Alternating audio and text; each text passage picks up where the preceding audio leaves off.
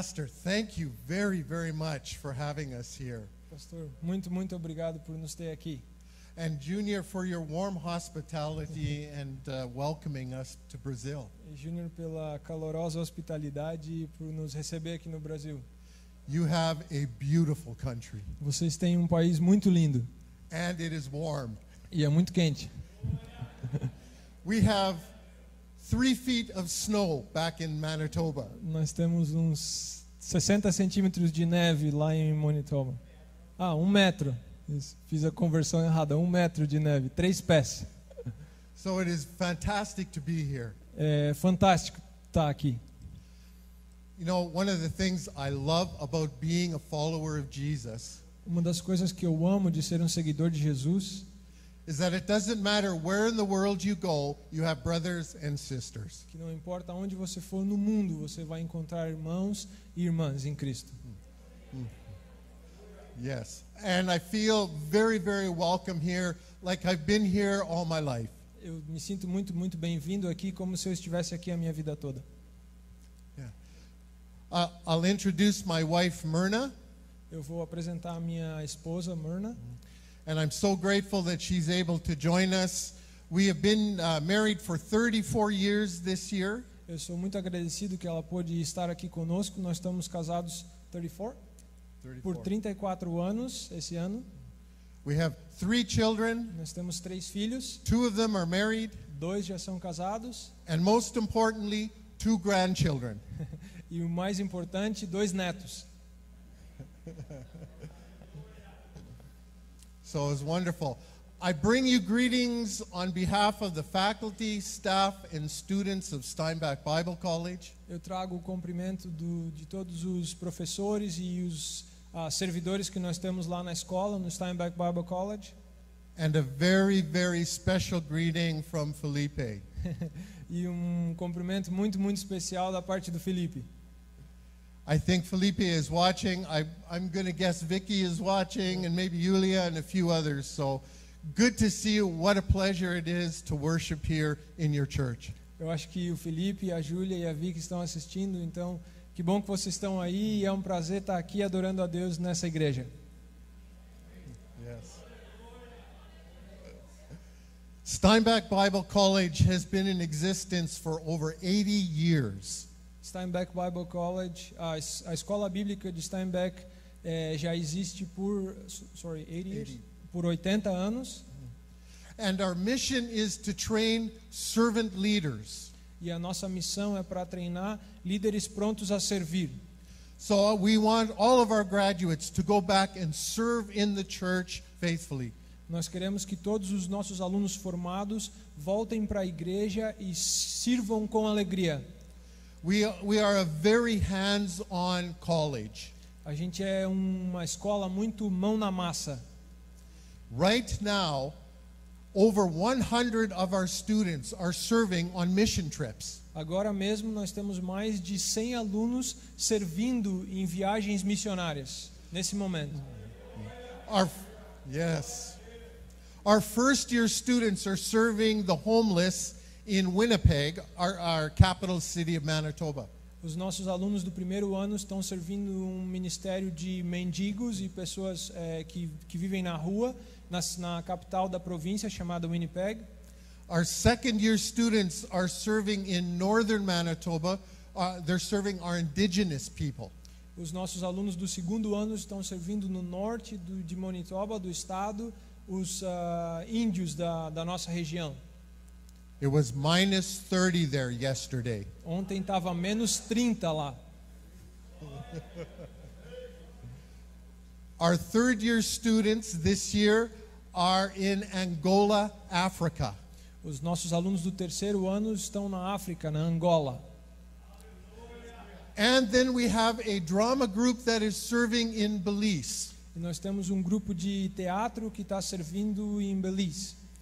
Over 100 students, 90% of our students right now are serving on the mission field. Mais de 100 alunos, 90% dos nossos alunos estão agora mesmo no campo missionário servindo em algum lugar. Yes. And that is at the heart of what we do at Steinbach Bible College. E isso é o que está no coração do que a gente faz lá na Escola Bíblica de Steinbeck. We train servant leaders to follow Jesus, serve the church, and engage the world. Nós treinamos líderes para o serviço que estejam focados em servir a Jesus, seguir a Jesus, servir a igreja e, sorry, follow, e, e se conectar com o mundo. So maybe there are some of you that are interested in coming to Canada to Steinbach Bible College. Talvez tenha algum de vocês que está interessado em ir para o Canadá para estudar na nossa escola de Steinbeck. We have programs that are one year, two year, three year, or four year in length. Nós temos programas de um ano, de dois anos, de três anos e de quatro anos de duração. And if anyone is interested, my uh, leadership has decided to give a $1,000 travel bursary to anyone who comes. So, se alguém está interessado, o nosso grupo de liderança decidiu que vai dar um bônus de mil dólares para alguém daqui que decida ir estudar na escola. It's like a person off, right? Like Yes. thousand. Offer a tuition. São mil dólares de desconto na, no custo da graduação, no custo do programa, de bônus para qualquer pessoa que tenha no coração de ir para lá. For over a year, we have been praying to God to bring us students from outside of Canada. Por mais de um ano a gente tem orado para que Deus traga estudantes de fora do Canadá. And God is answering that prayer, and we praise Him. E Deus tem respondido essa oração e nós louvamos o Senhor por isso. Maybe one or two or three of you will be that answer to that prayer. Talvez um, dois ou três de vocês vão ser resposta de oração para essa, para essa oração que a gente está fazendo. Yes. And we are so thrilled to have Felipe join us at Steinbach Bible College. E a gente está muito feliz de ter o Felipe eh, se conectando com a gente lá em, na Escola Bíblica de Steinbeck. And Junior's coming soon. E o Júnior está indo em breve. This, this evening, we want to look at Psalm chapter 3. Essa noite eu quero olhar com vocês o Salmo de número 3. So if you have your Bibles, I invite you to follow along. Se você tem a sua Bíblia, eu convido você a abrir junto comigo. It is a psalm from when King David was going through a very difficult time. É um salmo de quando o rei Davi estava passando por uma fase muito difícil. He made some big mistakes in the past, Ele fez grandes, ele cometeu grandes erros no passado and he didn't deal with them when he had the chance. e ele não lidou com isso quando ele teve a chance. He hoped that they would disappear.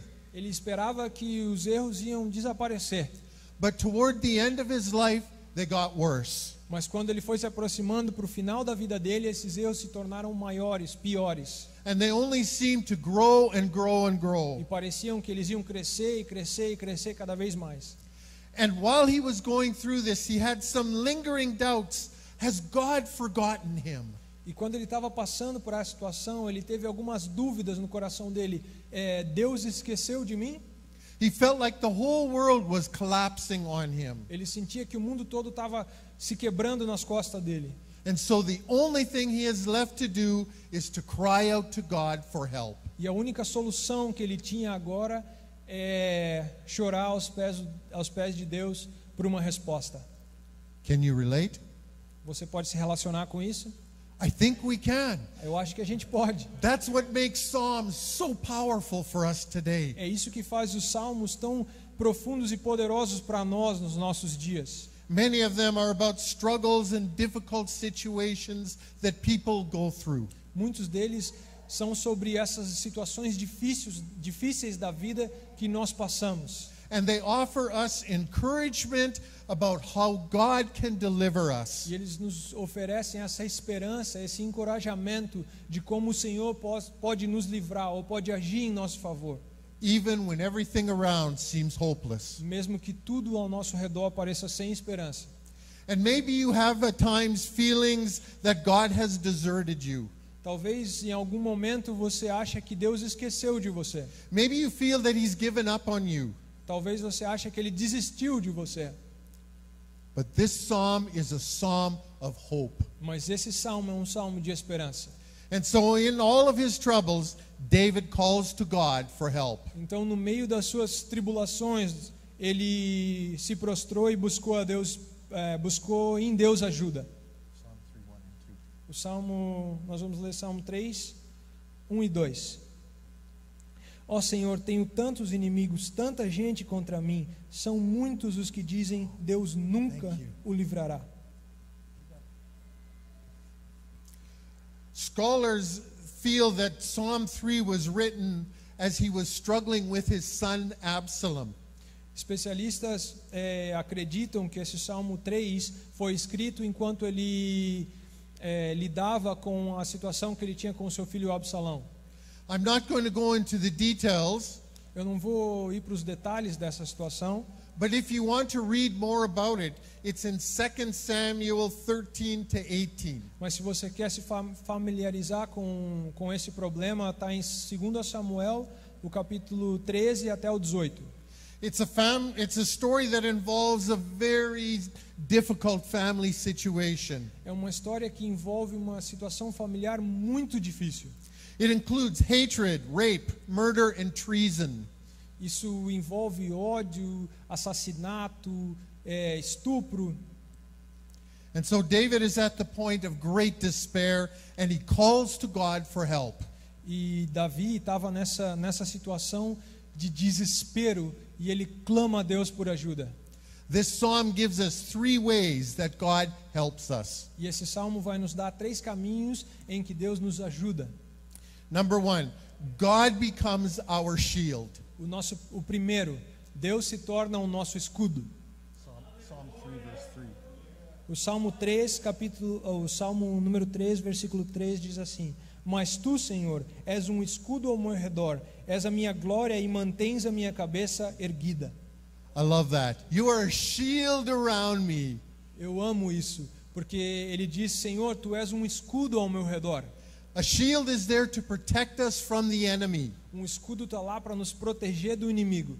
The Bible uses it to refer to God's protective powers. A Bíblia eh, se refere a isso como um o poder protetor de Deus. I like it. It's all around us. Eu gosto disso porque está em todo o nosso redor. It tells us of God's encompassing love and protection everywhere. E fala de um amor de Deus que nos envolve e nos protege por todos os lados. He protects us on all the sides, not just in the front where we see what's coming. E Ele nos protege por todos os lados, não somente da, fronte, da nossa frente, onde a gente consegue ver de onde vem o ataque, but beside us and behind us. mas do nosso lado e nas nossas costas também.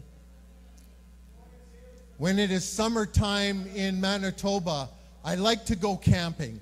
Quando é verão em Manitoba, eu gosto de acampar. And my son and my son-in-law and I, we love to go fishing. E o meu, o meu filho, so- o meu filho e o meu genro, a gente gosta de ir junto acampar. There are lots and lots of bugs and mosquitoes where we go. So, tem um monte de muito, muito, muito mosquito onde a gente vai. Eu posso abrir um parênteses e dizer que é bem mais do que os irmãos imaginam. É bem mais do que no Brasil, é inacreditável. Probably not as bad as Brazil. No, uh, worse. worse than Yeah, worse. Brazil. and so we we pitch ourselves a tent Então a gente monta uma tenda, because the the tent protects us from all of the bugs and the mosquitoes. porque essa tenda nos protege de todos esses mosquitos e todos esses insetos. God's shield protects us like that tent does from the bugs and the mosquitoes. E esse escudo que a Bíblia fala, que Deus fala, nos protege como essa tenda por todos os lados desses ataques. And there are two ways that God protects us. E tem dois eh, caminhos que Deus nos protege. First, He protects us spiritually. Primeiro, ele nos, pro, nos protege espiritualmente. Uh, 1 Peter 1 5 and 6. A gente vai ler no, no livro de 1 Pedro, capítulo 1, versículo 5. Por meio da fé que vocês têm, Deus o protege com o seu poder até que recebam essa salvação, pronta a ser revelada a nós nos últimos tempos. No 6. Portanto, alegrem-se com isso, ainda que agora, por algum tempo, vocês precisam suportar muitas provações. See, sometimes God's shield protects us even when we don't know we're under attack.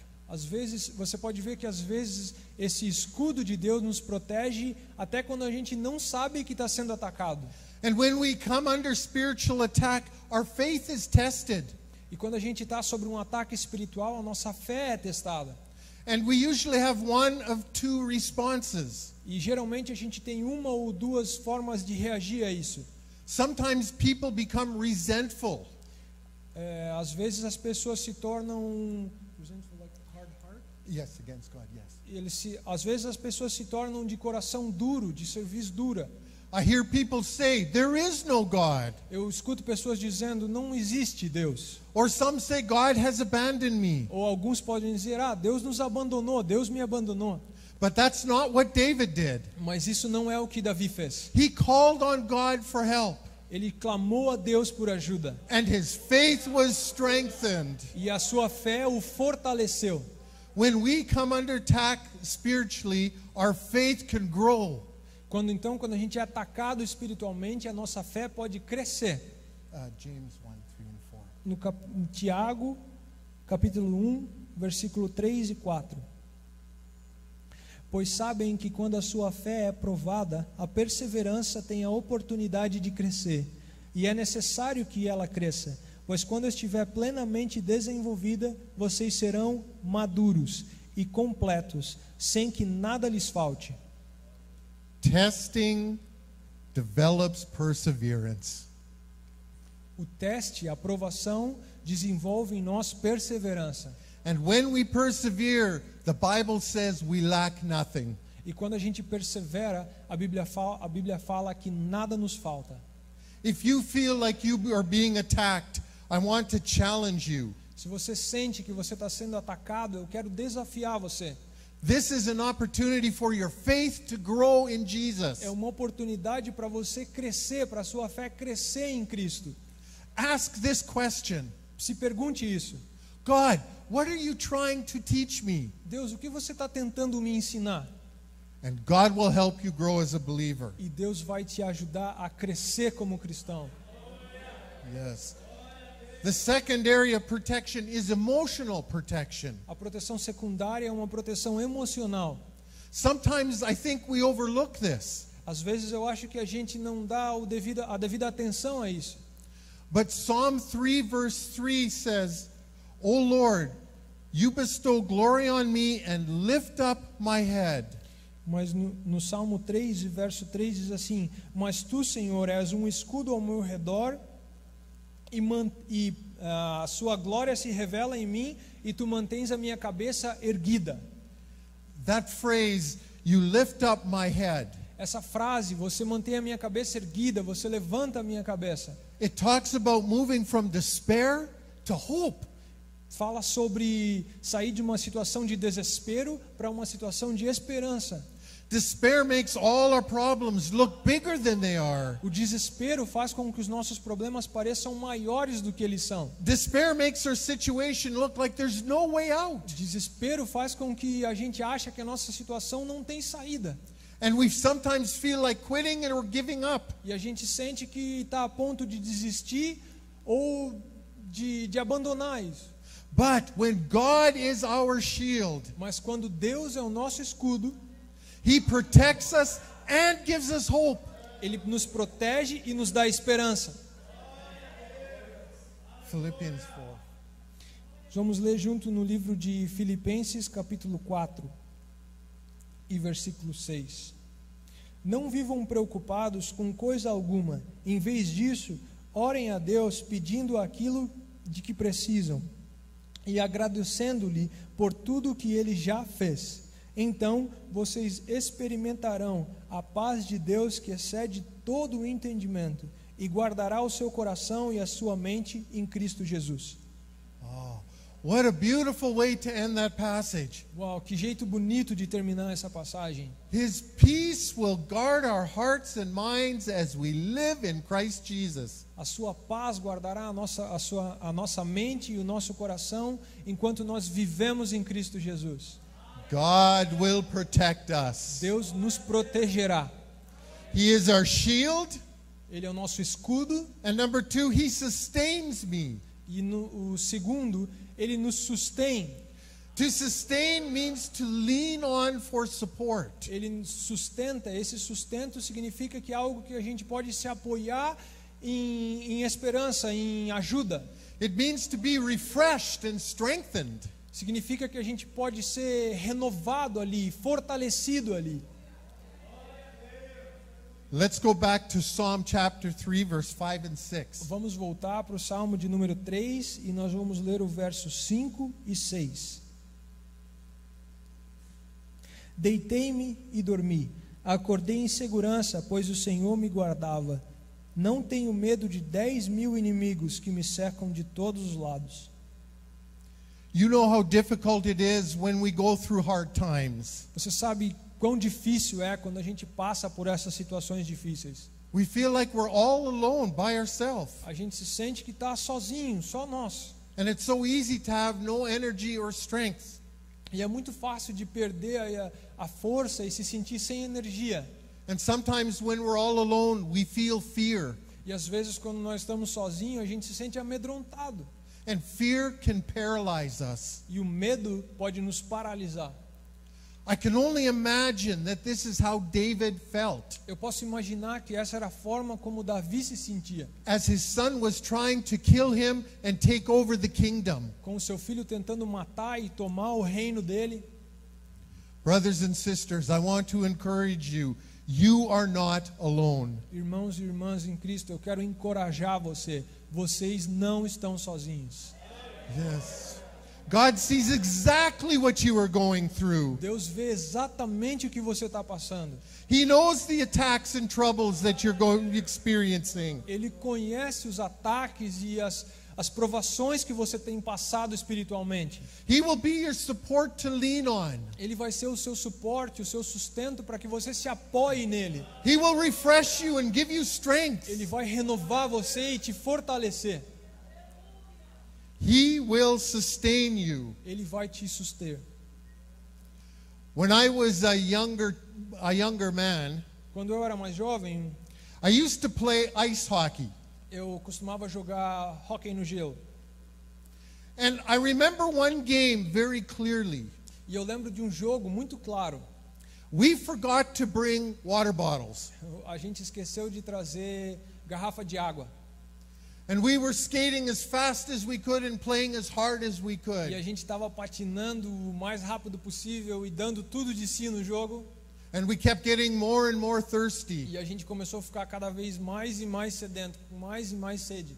About halfway through the game, Quando a gente estava mais ou menos na metade do jogo, we didn't care about the score anymore. a gente nem ligava mais para os pontos. All we wanted was water. Tudo que a gente queria era água. We were tired and sweaty A gente estava cansado e suado and very, very e thirsty. muito, muito sedento. And then somebody brought us some water, Então alguém trouxe para gente água. and it revived us. Oh, isso nos avivou, nos reativou It gave us our strength back, e nos deu força de novo. and we had the energy we needed to finish the game well. Então a gente teve a energia para terminar o jogo bem. That's what God is like when we're in the middle of trouble. É assim que Deus se comporta quando a gente está no meio das provações. He is a cold, refreshing glass of water on a hot summer's day. Ele é um, um copo de água, é, ele é um copo de água gelado num dia quente de verão. He gives us our energy and our strength back. Ele nos dá a nossa energia, a nossa força de novo. Yes.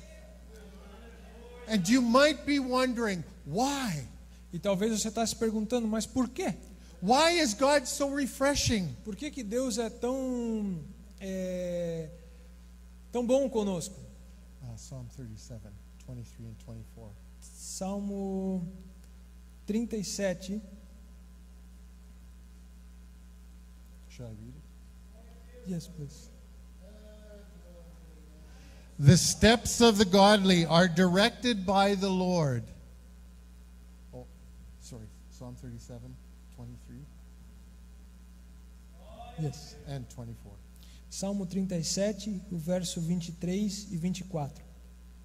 Os passos de um, homo- de um homem bom são confirmados pelo Senhor, e ele deleita-se no seu caminho. Ainda que caia, não ficará prostrado, pois o Senhor o sustém com a sua mão.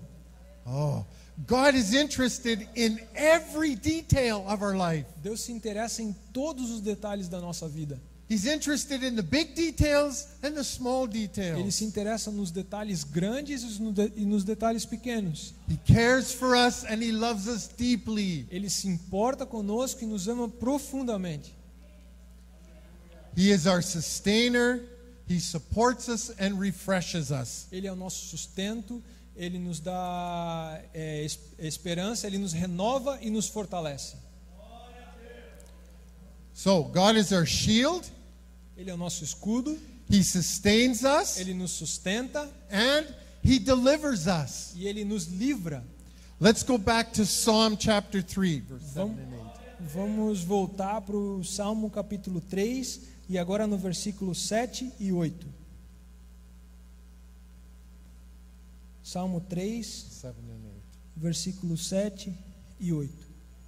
Levanta-te, Senhor, salva-me, Deus meu.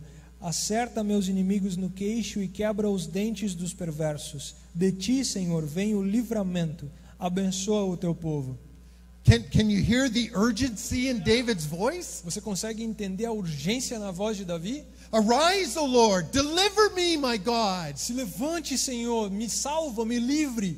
God, where are you? Come. Deus, onde é que você está? Vem. Deliver me now from this. Me livra agora disso.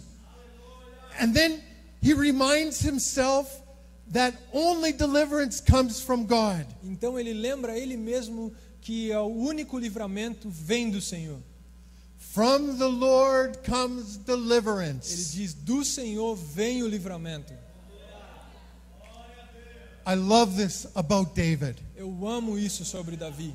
He isn't afraid to pour out his heart before God. Ele não tem medo de derramar o seu coração para o Senhor. He tells God exactly how he feels. Ele fala para Deus exatamente como ele se sente. And he cries out for E ele deliverance. clama por livramento.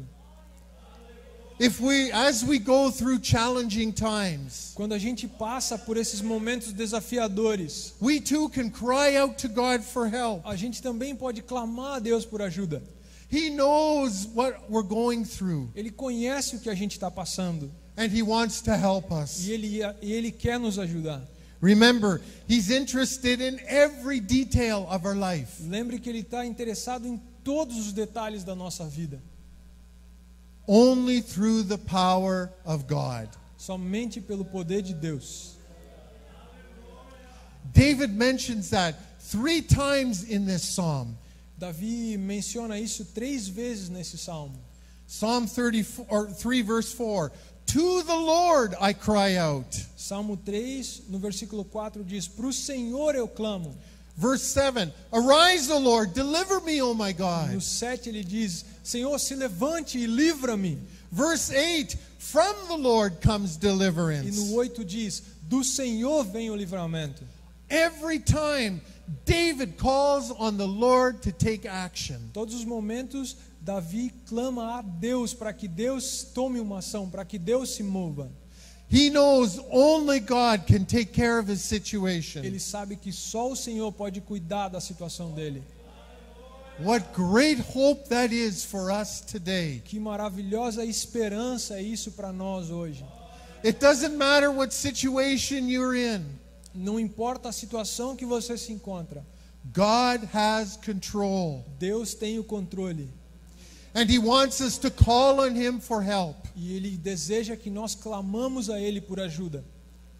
I have to confess, all too often I try to solve my problems on my own. Eu tenho que confessar para vocês que muito regularmente eu tento resolver os meus problemas pelas minhas, pelas minhas próprias forças And I fail miserably, e eu falho miseravelmente. but God delivers me. Mas Deus me livra, God sustains me. Deus me sustenta, God strengthens me. Deus me, me dá força. Here is the hope that Psalm 3 gives us. Aqui está a esperança que o Salmo 3 nos dá. Trust God. Confia no Senhor. Allow Him to work in all your circumstances. Deixa que Ele trabalhe em todas as tuas situações. It's the greatest thing we can learn from Psalm 3 E é a coisa mais maravilhosa que a gente pode aprender com o Salmo 3, to put our total trust in God. de colocar toda a nossa confiança no Senhor. Psalm 3 challenges us O Salmo 3 nos desafia to call out to God for para clamar ao Senhor por livramento. I leave you with a final verse. Eu Psalm, deixo vocês com o o último verso, Psalm 34 18. Salmo 34, versículo 18. O Senhor está perto dos que têm o coração quebrantado e resgata os de espírito oprimido.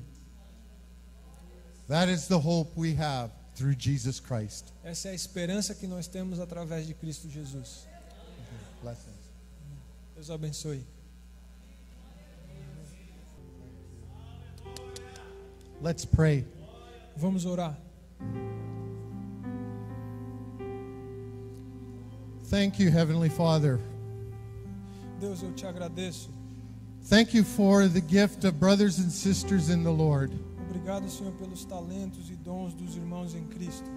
Thank you for your church. Obrigado pela tua igreja. And thank you for your Son, Jesus Christ. Obrigado pelo teu filho Jesus Cristo. Through him we have eternal life. Através dele nós temos vida eterna. Through him our sins are forgiven. Através deles nossos pecados são perdoados. Through him and him alone we have power and strength. Através dele e ele somente nós temos poder e força. I pray a blessing on this congregation. Eu oro por uma bênção sobre essa congregação.